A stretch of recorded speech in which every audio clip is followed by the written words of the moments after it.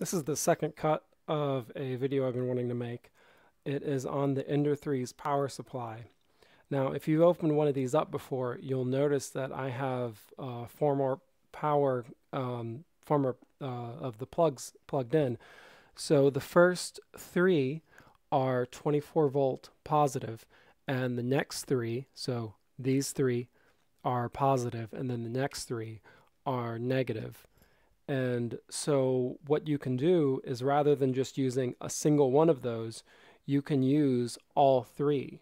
And so I have one of those, one of the, uh, the power lines running to my lights, one of them running to my MOSFET for my heat bed, and then the last one is running to my, that way the power is separated. It's not just going on one, uh, it's not just going on one single port it's it's running across all three. Um, now I've heard with 24 volt systems, you're you don't have to be as worried about that, but um, but still this it makes me feel a little bit better that they're all three separated. Now the last thing you'll notice is that some of them I'm not using the normal prongs. What I've done is I've wrapped the wire in a hook, but what you can't see is that I've also added solder. Um, so then where that's uh, it's compressed in there and it's in a hook and it's not uh, it's not going to be moving. The issue that you run into with these uh, power supplies is if there isn't a good connection.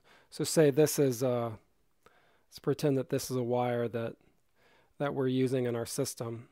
You just go and you twist it together like that. It'll work, sure, but if you'll notice, it can wiggle. And as it wiggles, it gets a little bit more and more apart and eventually eventually that'll spark and cause a fire. That's why those uh, those uh, Creality um, Ender 3 uh, XT60 connectors that's why those are messing up is because of that. So then we go and we solder this. So then place some flux on there and add some solder. And that's even with this bad twist, I could have done a lot better on the twist. Um, even with that, it's now a whole lot better. And this is a connector that I would trust. Um, I mean, I wouldn't, I would put heat shrink and stuff like that on it and it'd be twisted better. Uh, I'm going to snip this off and throw it away. But uh, just a point that being able to solder um, is a really good skill for this hobby, and is something that I think that um, that really everyone should learn in this hobby is how to solder. Because if they if you go and you sell sell yourself, oh, I'm not going to do that project because I need a solder, then that's a problem. Now, as to a specific soldering iron, you want to get something that's temperature controlled. Um, I have the uh, X-Tronic model 3020 and that is linked down in the description. Um, as for solder, use the stuff with the lead in it and wash your hands. Um, you can buy these helping hands and then put them, two of them together. Um, if there, if enough people want to see how I did this, I can show you, but it's really simple. You take them apart, put them together.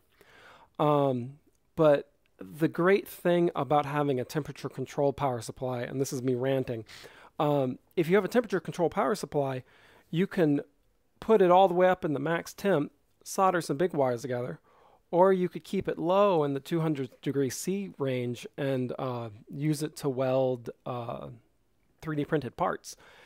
And so if you have uh, like the, the X-Tronic, I think is like 40 or 50 dollars, uh, completely worth it. If you have something like that, you're not worrying, you know, you're not flipping the switch on this like Radio Shack special $19 soldering iron that always goes you, you don't really know what temperature it goes up to you know probably 300 degrees c 350 400 um, but uh, yeah get something temperature controlled and it might cost it might cost a little bit extra money but is uh, completely worth it. And uh, yeah they're linked down in the description below. But that's that's far field of what i was going on with this. But uh, but yeah um, if you've got if you've got a mosfet and if you've um, got lights and stuff like that separate out the power so that um, so that you're not putting as much load on just one set of wires.